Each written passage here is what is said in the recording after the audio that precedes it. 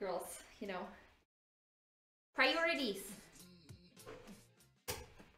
La la la. Actually, I'd say this motherboard is beautiful. Beautiful. I'm gonna show you in a second before we put it in. Let's make sure that these are tight and nice.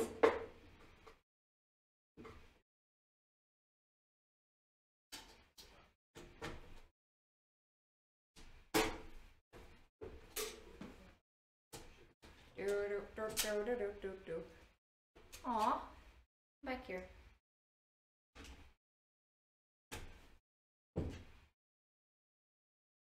Wait.